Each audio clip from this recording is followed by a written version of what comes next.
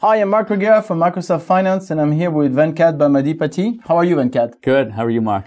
So I know you are the general manager of Microsoft Enterprise Partner Group, but can you tell us a little bit more about yourself? Sure. I've been with Microsoft for uh, about 10 years, and I'm currently the CFO of our enterprise business for Microsoft. The enterprise business, uh, basically where we ensure that the Microsoft breadth of solutions help drive business opportunities for our, commercial enterprises, government agencies, health organizations, and also our education institutions uh, globally.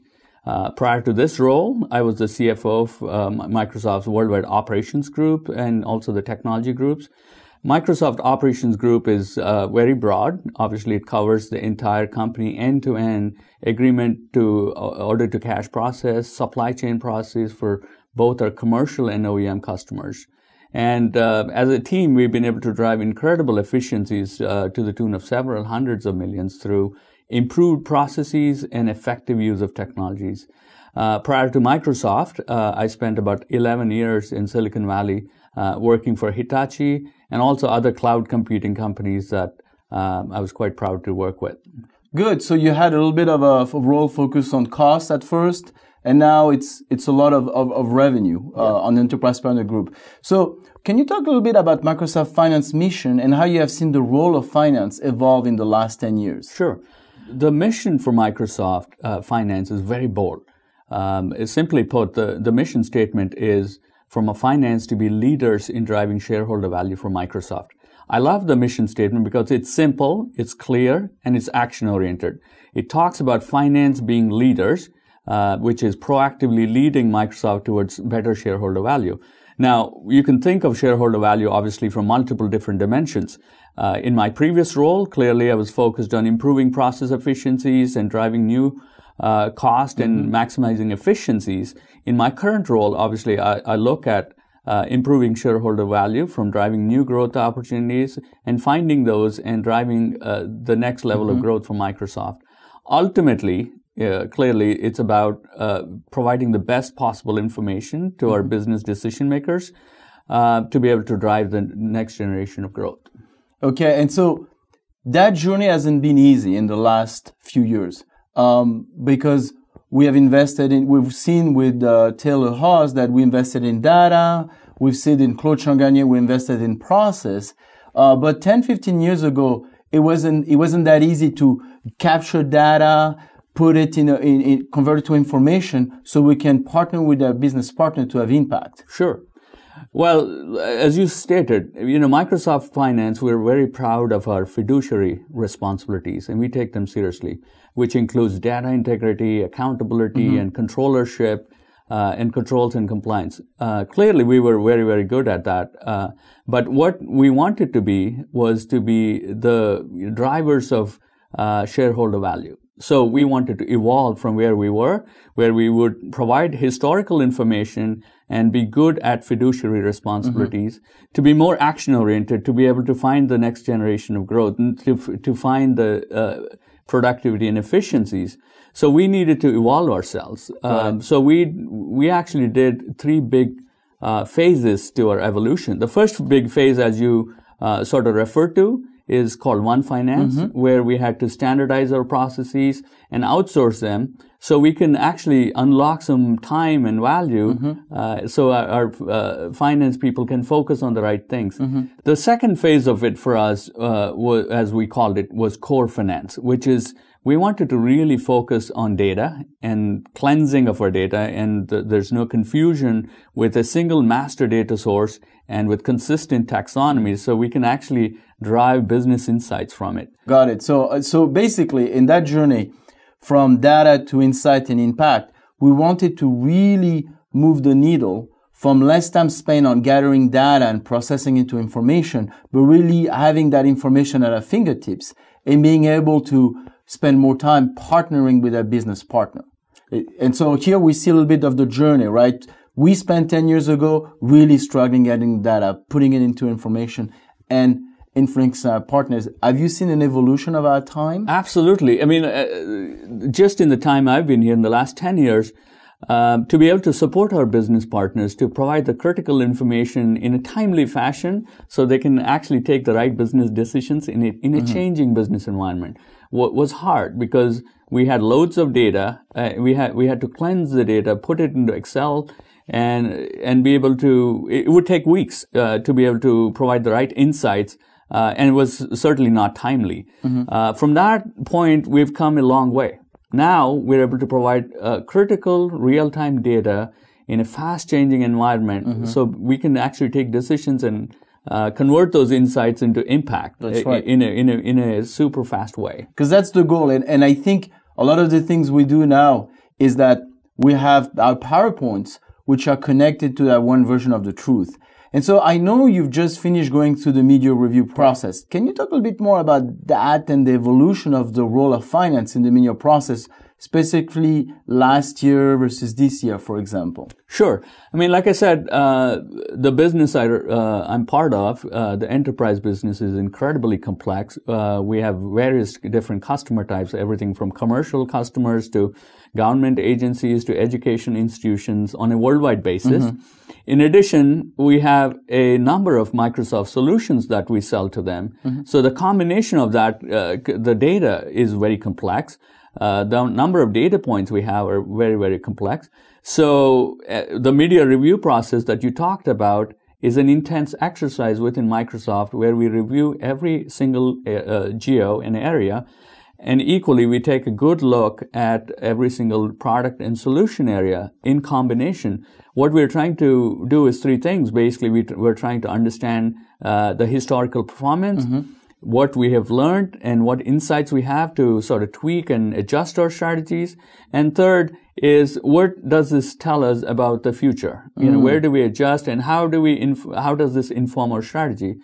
And clearly, you, you know, this is a very very intense exercise in the past, we, we carried a lot of paper, a lot of PowerPoints, a lot of Excel spreadsheets uh, to be able to answer the questions to in a detailed way. Now, the conversation has shifted. I, we've become a digital company now. Uh, we all have OneNote. Uh, all meetings are held digitally. And all the information I need is actually at my fingertips through Power View and Power Pivot. I could answer any question in depth about every subsidiary, and we do business in over 160 different subsidiaries uh, for every solution we do. So it's been a game changer for me. Uh, Got it. And I can do this uh, by myself without right. the help from hundreds of people helping me in the back. That's right. So you have a hundred something countries, dozens of licensing terms, a lot of customer segments, and dozens of products. So the data cuts are 100 times 100 times 100. So um, maybe uh, we can spend a little bit of time showing for our audience what it really means. Yeah. Uh, from what we did last year to what we did this year. So shall we do a little demo? Absolutely. Them? Yeah. Let's. So I understand this is your backup last year, and we're going to show it to the camera, where we basically have a lot of small numbers in tables, right? Because yeah. you have to represent there's hundreds of geography cut by different licensing term, cut by different products. Yeah, in, in fact, I, I, would say this is uh, this is not the whole appendix uh, supporting data that we have. Uh, in fact, this is probably half or a third of what I usually carried. Lots of big books, lots of big binders. Uh, so I, you know, we want to be ready to answer any question that's in right. a detailed way. But finding it is not easy, I'm sure. And you have to do it quickly. That's right. That's right. Uh, because those meetings are intense. There's a lot of people, and you got to yeah, move yeah, on. Yeah. So maybe what we can show is how we can convert the tables of data into dynamic, interactive views that people can use.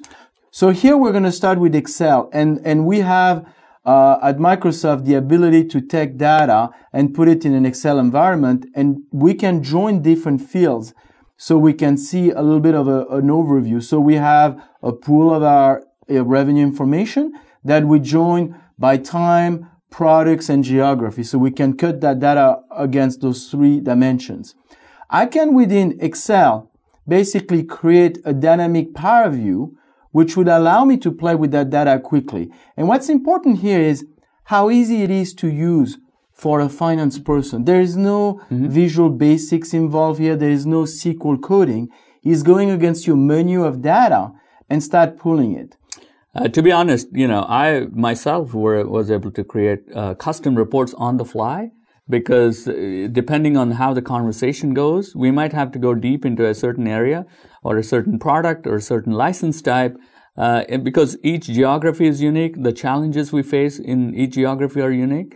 So it would require me personally That's to be building uh, on the fly. So So here we're going to do some high level view. So these are acronyms. We're going to look at actual revenue, the variance to budget. We're going to put maybe also in percentage. So here all you have to do is drag and drop. You've talked about segment. So maybe we can look at certain segment and we have the ability to pick different kinds and we can resize. I, I like to put numbers somewhere so people can see. So here it's a business. It's around 300 millions. We can put the title, financial summary. And what this really looks like a PowerPoint, and there's a reason for that. It's really connecting your presentation to your back end. So we're going to do a couple of things. We're going to look, for example, at variance to budget. And one thing that is interesting, I think, is the annuity versus non-annuity. Because uh, obviously that mix is important for our business. And we have the ability to show it in bars. Yeah. We, we can see things. Uh, we can put some data labels. So there's a lot of ease of use out of the box that allows you to create these very easily. Yeah, right here looks like a um, balanced business here. We're able to grow both annuity and non-annuity uh, And I can- in a balanced way. Exactly. And I can copy and paste that chart, take out the annuity, non-annuity, the, and then maybe look at something else that gives me an idea of the licensing. So if I go to pricing level is have acronyms, maybe this one, and then we can see how we are doing versus new or recurring, which is also in, in, thi- in this case, clearly, you know, we're doing a good job um, being able to sell new business and able to monetize and and keep uh, our our customers um, on a renewal pa- That's right. So well. it's not just focusing on the existing customers, we're, we're also growing. And if we want to see the actual growth, all we have to do is pick the right metric, make it smaller, and we can see the actual year over year growth that although our variance to budget in renewal is smaller, this is the area that we are growing the most. We can see the performance along with the growth at the same time. We can put custom labels here. So if you want to put a text box that shows licensing section, we can put that anywhere. There's, there is a wealth of functionality that we can do. We can spin it by uh, product and That's right. take a look at you know where we are ahead, where we are behind. That's right. What actions we need to take. So the last one we're going to do, we're going to do a quick view by area because obviously geographies are very important at Microsoft. Maybe we'll put, uh, we have, I think, one that, that sorts it automatically. And we're going to have a, a, a bit of a variance to budget again. And, uh, we're going to make this a bit smaller. And you have a lot of, so here, historically, five, six years ago, we would need to work with IT to create a custom solution that allows you to interact with your data this way. Not anymore. Yeah. You can just create it. We're going to also, again, follow our philosophy, put a year over year growth, and we're going to do again area. You you know the drill. Then we pick a chart. We're going to make this a bit smaller. And then finally, we're going to put something that I think is very important is slicers. Because when you think of a slicers, it's really the ability to, that's really what allows us to also reduce dramatically the amount of da- uh, slides, slides we have because you can now slice the data in, in here and see different views. So we're going to bring maybe time zone. I bring time zone and I can convert it in a slicer Yeah. we have to remember every time I do something, when I'm going to check, it's going to be fully interactive and the entire slide is going to change. Well, that's changed. Uh, you know, that's that right there has changed our relationship, our uh, with how we interact with our business partners. Because it used to be that someone would ask me a question and I would reply and saying, "Well, this is the answer to the specific question you asked." Now, you know, clearly I can slice and dice and create custom reports. Uh, and, and sort of provoke more questions and, right. and provide answers that were, they were not uh, anticipating. So uh, it's become a very interactive uh, experience with with our business partners, Um, uh, and I earlier I referenced that we need to provide critical real-time answers uh, to in, in a fast-changing business environment, and this has really helped our business partners and myself to help them. That's uh, right. Drive the right decisions. So we're going to save this view. This is in Excel. Now again, you want to see Q1. You say like Q1, 131 million. You want to select Q2.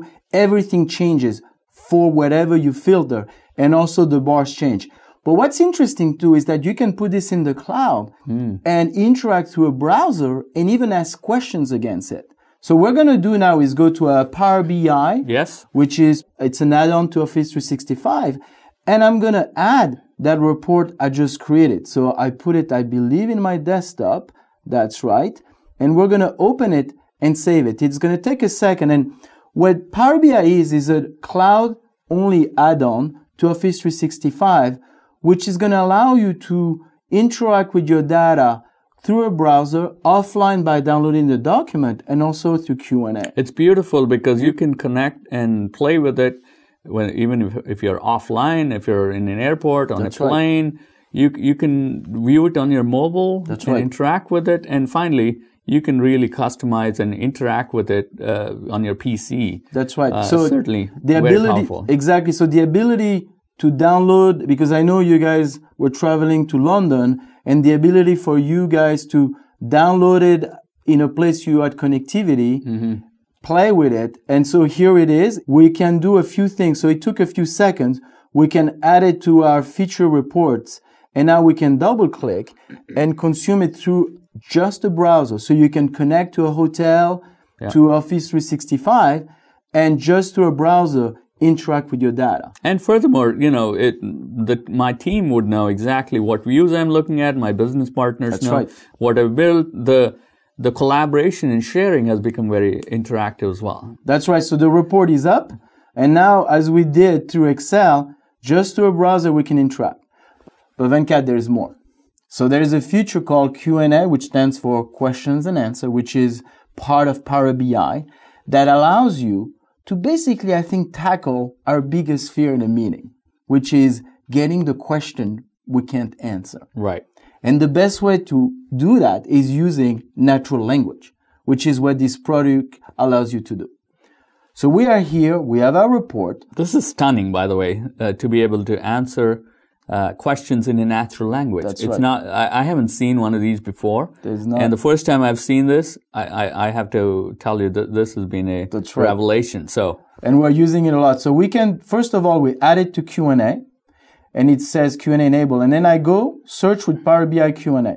So do you have a few questions you want to know yeah, about? one of the key things I want to know is variance to budget. Okay. Uh, so tell me if I can find out a variance to budget by licensing type. The typical way to go is sum of a variable by whatever uh, dimension you want, and you can even pick your chart type. So if we do sum of, so this was VTB, so variance to budget, it was for H1, I presume, the Yes. first half.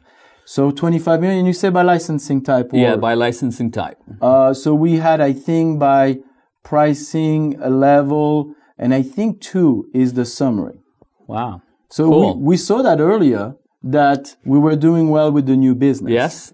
And so do you want to know something else? So let let's say we want I want to know by area by by geo Okay. uh, how are the different geos performing. So we do by area and it shows you. And if you want, by, by the way, show as a table graph, you can type as table graph. Oh, cool. And it's going to show you as a table. You can also click it here as a table. Yeah. Uh, you can do it as a pie chart. Fantastic. So any other question? what about uh, if I want to further refine it by annuity and non-annuity? Okay. So we do by, I think it was called super user type, and you will remember it was a very balanced business. We can do uh, by pricing level two. So we can mix and match Wow. and see that the annuity business is made. We can do even by area here. Fantastic. And we can see which areas are doing well. Wow. This is a bit busy, but we can do by area, by super user type. All by typing. That's right. So here you can see that Canada struggles on the annuity business and does well on the non-annuity. So this is all we we started from a table in Excel Yeah. Power Pivot, we build a Power View in Excel that we drag into a Power BI site, enabled to Q&A, and quickly we're able to ask questions. And this really works like this out of the box. Cool. By the way, there's another feature here on your right. We can do language modeling. We can actually do. So if we go here to a Power Pivot and go to advanced and synonyms, if I type, for example, for actual, I call this revenue, it will also respond to that word. So I'm basically creating a synonym. When I type revenue, get actual. Fantastic. So in your Power Pivot, Yeah. you can do language modelization, which is really useful. yeah. We can do that. We can actually consume this to a PowerPoint dynamic slide. Can you talk a little bit about how our business reviews have evolved uh, from where we were, let's say, two years ago to now because of this self-service interactive dynamic tool that are also touch enabled, by the way? Sure. I mean, uh, what we just went through, you know, the the reviews with our business partners in the in, in the past used to be one-way lectures from finance, uh, you know, where we we would come in with our reams of data and say what what the historical information is and what we think uh, the future holds. Uh, that has transformed now from an interact to a more interactive conversation uh, where you know you can have a deep conversation and one question leads to another and we can go deeper. Um, I, I find them more productive reviews where we have um, you know more brainstorming more uh, decision making. So because we can more effectively tackle some of the problems in the meeting as opposed to keep going back to data and, and rescheduling meetings. Uh, I would say the feedback from our business partners has been extremely positive. Uh, we are taking a medium that was very familiar. Uh, We always use PowerPoint and Excel. And now uh, we just made it more interactive. We can go deeper uh, right there. Okay.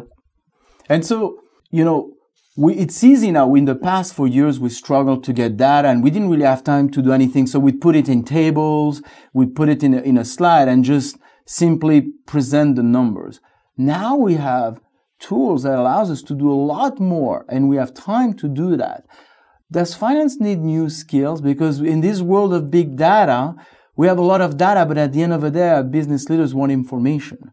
As finance need to evolve from the traditional, maybe controllership auditing skills and have evolved a little bit our role because of the tools we have and the abilities we have now to really have a big impact. Absolutely. Yeah, yeah, no, absolutely. Our, our role is shifting and changing. I mean, clearly, uh, finance was quite respected uh, in Microsoft, but now we're, you know, we're being asked to come and be part, participate in the strategy making and also drive the business.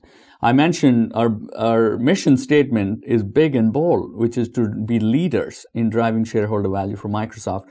Uh, a couple of things to think about for finance professionals. Clearly, it's not just analyzing data and, and, and drawing the insights. You have to be able to effectively communicate back to the business partners to be able to influence the decision making to drive that business impact. Uh, second, we need more effective partnerships uh, to be able to, uh, p- you know, have a strong point of view and actually put it into action.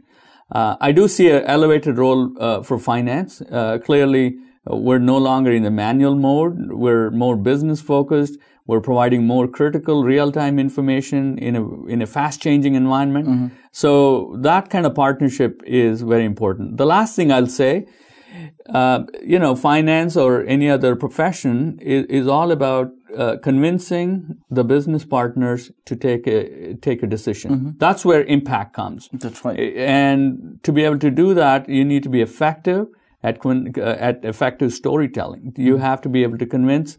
Uh, in a way, you're able to shape the data. You're able to uh, shape behaviors and drive strategies. So, to be storytelling is key, and the tools we have today right. uh, effectively ha- help us do that. That's right, because you got to take millions of records that you see here and make three points in minutes so business leaders can make a decision because our impact is through influence. And so that's what I think one of the great, uh, exciting uh, transition for finance is that our role is to simplify, to synthesize, to make things simple without making them simplistic and capture that complexity. And that's very hard to boil things down to its essence without having, uh, without bringing two million records in a meeting because we don't have that. Right. So it's an exciting time to be in finance. I really appreciate your time to walk us through a process like Media where we had over 100 pages of data to tools that we can create in minutes, views that are self-service, touch enabled and dynamic.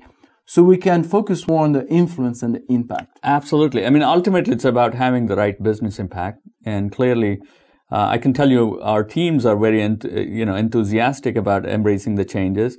They feel quite uh, empowered to be able to go to the business partners and rattle some cages and find issues mm-hmm. that nobody wants to talk right. about. So now we, we have a more w- vigorous and more enthusiastic That's finance right. team uh, who are at the at the leading edge right. of decision making. So and we, we I feel saw, very good. That's right. And we saw with the tools that you don't have to know SQL or VB. Mm-hmm. What you need to know is the business and you need to uh, it's a design challenge it's not a technical challenge we used to have a huge technical challenge mm-hmm. which is building things that technical challenge is gone. We still have a huge design challenge right. which is summarizing a very complex business with views that really give a clear picture. But that's a lot more exciting because we can spend time on that and using the insight to tell a story. Absolutely. Well thank you venkat. It's an exciting time to be in finance more time spent transforming data and influence and less time getting the data and struggling with it. I appreciate you took the time. I know you're a busy man. Oh, thank you. Thank you for coming. Thanks. Thank you. And don't hesitate to use the chat feature to ask any question. Thank you for watching. Thank you.